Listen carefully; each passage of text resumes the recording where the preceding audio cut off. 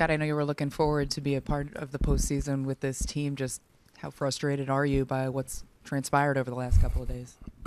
Yeah, um, obviously very you know disappointed and frustrated. Um, you know, but it's it's baseball. These things happen. Uh, just kind of disappointed I won't be able to go out there and help the team. But um, you know this this team, this bullpen specifically, has been you know super resilient all year. So um, you know whoever gets the ball um, in the bullpen out there, you know tonight and the, throughout the series, I know will do a great job. So just wish I out there to kind of you know be able to help them out.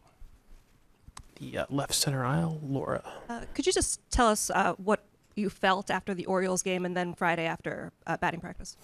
Yeah, it was um, just like mild soreness. I thought, you know, just kind of end of the year, um, normal soreness, and um, really since then it just kind of stayed and lingered. Um, really, no no specific event kind of triggered it. Um, we thought we were staying on top of it, and at top of it, and I felt you know pretty good to keep keep throwing and go out there. And um, I think what we kind of just came to was it was just staying around for a little too long, and we decided to get it checked out not thinking it would be you know as major as it was, but um, you know the pictures came back and obviously got the unfortunate news. But um, you know, really there was no one specific like moment or pitch or anything that kind of I, I was you know tipped off to this happening. So Did you go into the MRI thinking that could be a possibility, or were you completely taken off guard? I was I was a little taken back, honestly. I mean, obviously, you know, whenever you go in there, there's a possibility of finding something you don't want to see. But um, you know, for me, I think I think it was kind of shocking. Obviously, you know, I think every pitcher kind of thinks it's shocking hearing that news. But um, yeah, I was you know truly not expecting that. Any questions for Scott? Uh, Ron, we'll get you the mic. Uh, did the MRI just show the ulnar was torn or anything else in there? Uh, yeah, just the ulnar. And you know when surgery and who's going to do it? Uh, still still going over that, but you know, as soon as possible. I just want to get it in and you know start the rehab process as soon as possible. And when was the MRI? Saturday? Uh, yeah, this weekend. And you got the results back the same day? Yeah, yeah, we went through it. Um, but uh, yeah, still uh, still going over the surgery details. But you know, like I said, get in there as soon as possible and start the rehab. We'll go to Brian in the third row. Scott, you mentioned still being confident in the guys in this bullpen. What do you like specifically about uh, the way the relief shapes up?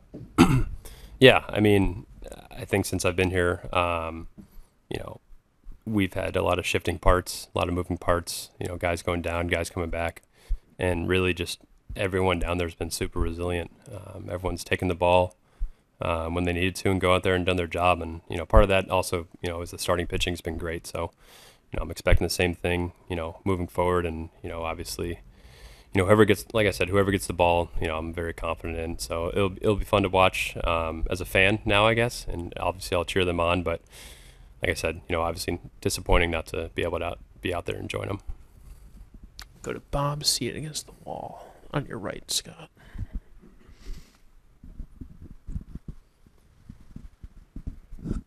Scott, what is the uh, the timeline now for your recovery? Um, yeah, I, I think you know, I, I've known people who've gone through it, so I kind of know the general timeline of, I guess, you know, 12 to 18 months. But um, we haven't really nailed that down yet. I guess that depends on when we get the surgery started. But you know, obviously, we want to get out there as safely and as soon as possible. But um, you know, I know it'll take some time, and um, I trust the training staff here um, to kind of help me with that. Go to Susan and then Barry. Have you talked to some of the guys like Jameson or Severino about this, and who else have you talked to about the recovery and what it takes?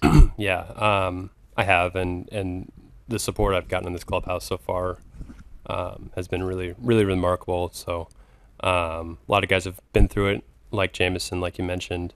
Um, guys I've played with in Chicago have kind of reached out and, and talked to it, who've gone through it as well. So um, I'll definitely lean on them a lot to to kind of ask questions if I need to. But um, like I said, those guys have been great so far. We'll stay there with Barry.